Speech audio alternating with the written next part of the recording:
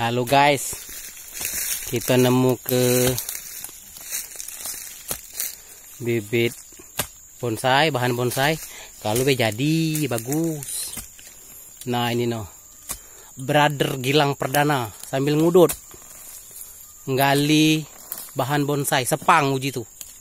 Nah ini brother Gilang Perdana ini. Nah yang ini brother Firman. Nah bos itu. Nah, kena busungnya besar bos itu. Nah, kita ni ada di